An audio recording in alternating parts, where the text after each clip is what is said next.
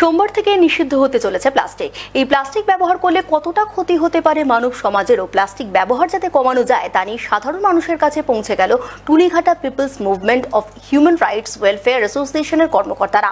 সোমবার এই সংস্থার কর্ণধার সঞ্জীব কাঞ্জিলাল সহ সজল মালাকার, অমিত বিশ্বাস কণিকা কীর্তিনিয়া, রুমা মণ্ডল সহ বেশ কিছু সদস্যরা হারোয়ায় বাগানহাটি গ্রামে সাধারণ মানুষের বাড়ি বাড়ি গিয়ে প্লাস্টিক ব্যবহার যাতে না করা হয় সেই আবেদন করেন।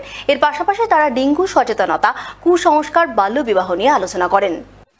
Tunighata People's Movement of Human Rights Welfare Association নামে হাবড়ার একটি মানবাধিকার সংস্থা থেকে আমরা এই উদ্যোগ নেওয়া হয়েছে। সম্প্রতি উত্তর চব্বিশ পরগনা, আন্দামান সহ বিভিন্ন জায়গায় আমাদের এই প্রোগ্রাম চলছে।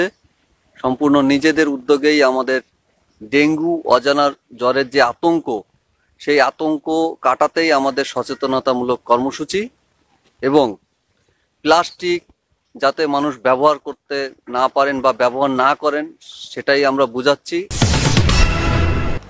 সল্টলেক বিএফসিএ ব্লকের মৈত্রী সংঘের গণেশ পুজোয় এক ঝাঁক বিজেপি নেতা। এই গণেশ পুজো প্রাক্তন মেয়র তথা নিউ টাউনের তৃণমূল